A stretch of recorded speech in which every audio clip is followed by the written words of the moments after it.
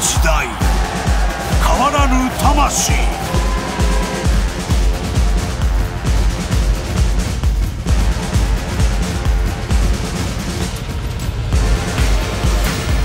新たなる30年へ。J スターティング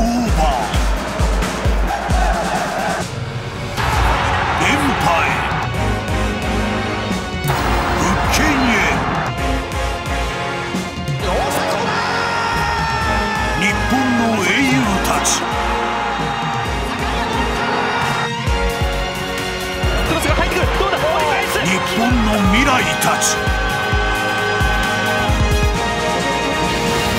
ついに完成。銀河系軍団。僕が入る時は、まあ、すごく外国人選手が多かったですし彼らも正直日本人の若手あんまり興味ないと思うんで、ま あ僕らは本当に成長してほしいと思うし、まあ、一緒に成長したいと思ってるので僕もそんな長くないのでできてあと34年かなと思うので今年また優勝できたらそのいい循環を作れるのかなっていうのを思います。引き続きチャレンジャー精神で戦うだけですし蛍にしろ豪徳にしろ、まあ、僕らはそれだけのトレーニングをしている自負があるので。かける貴公子黄金の狩人世界の半端ない無双。名門復活のキーマン恐怖の長距離砲帰ってきたゴッドハンド。赤い悪魔が新しき城へ攻め入る。矢を食いちぎるか。悪魔狩りか。デールの鬼神赤の鉄壁大魔王赤の執行人。超献身的ナンバー10ビッグセーブ量産工場。やばいだろ。攻撃至上主義勝利に飢えた J2 王者。最強のチャレンジャーが J1 にやってくる。高校サッカーの世界では約30年やってましたけど全国優勝をずっと重ねてきた中でファミリーとして、えー一つの目標にみんなで尽力していくっていうこのスタイルが今のこの町の強さにもつながってると思うし。オリジナル10魅惑の攻撃サッカー次の30年を担えるか？勝つイコール守れることっていうのは一つ我々のテーマとして掲げたことであって。勝利のための黒田スタイルをお見せしよう。町のサッカー強度の高いサッカーっていうものがどこまで J1 の中で通用するのかっていうのを試すのも一つこう楽しみでもあるので。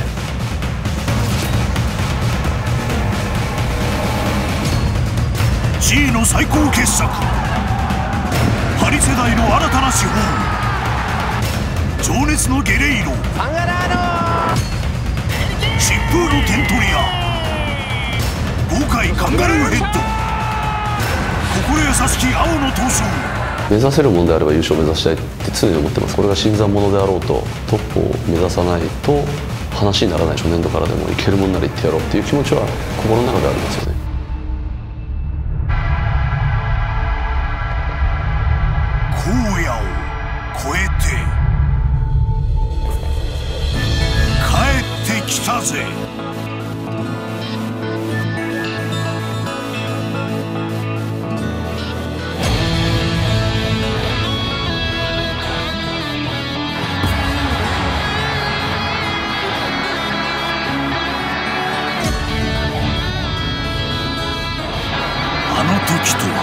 全てが変わった。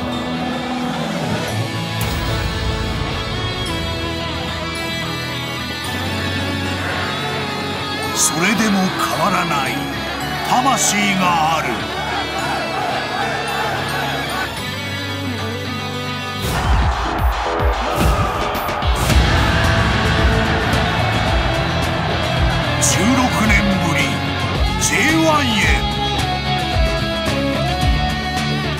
ヴェルディの伝統っていうのは唯一無二のものがあってそれを背負うっていうことだとは思ってました。本当に就任した時はいやいやどうせ僕らこんなもんですからっていう感じなんですよ。優勝目指して学ばなきゃいけない！いやいやサッカーってもっと何万人もの中でやるんだよと。サッカーってもっとエキサイティングでもっとお客さんが興奮するような中でやるのがプロでしょと。俺らそういうところに行ける可能性あるんだよっていうのをにはいろんなものが詰まってたと思うしあのすごく気持ちははい分かりましたね。小学校からやってますね。対戦してます。ずっと強かったですね。僕らの年代ももう本当に強くて歯が立たないんじゃないかっていうレベルだったので。ベルディらしさというふうに言うようにやっぱりアカデミーにはぶれないやり方っていうのがあると思いますし。やんちゃ系なイメージはありますよね。はい。どこのクラブの人にもやんちゃっていうのは言われますライバルストーリーは30年続いていたのだ。そこにはもう本当 J リーグの魅力と歴史が詰まってる。戦いだと思うんでお互いの良さがぶつかり合うゲームになればいいと思うし。I knew the task ahead. Two previous managers that the club has had are very entertaining. Everyone wants to dominate, score goals, a national derby, then that adds that little bit more of a spice to it.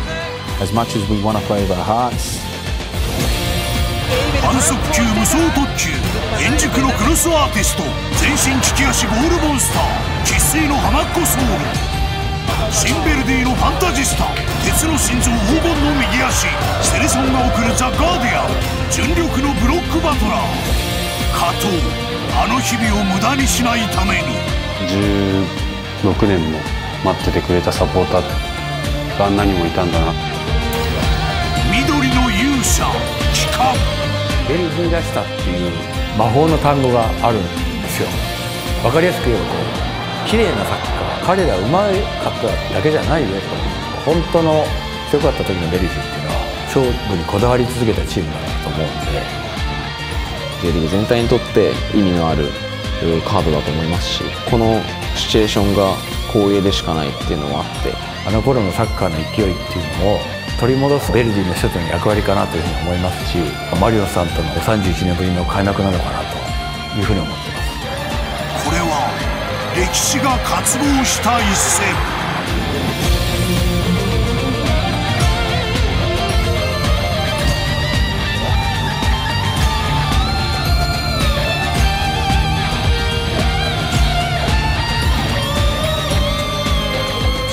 それぞれのスターティングオーバー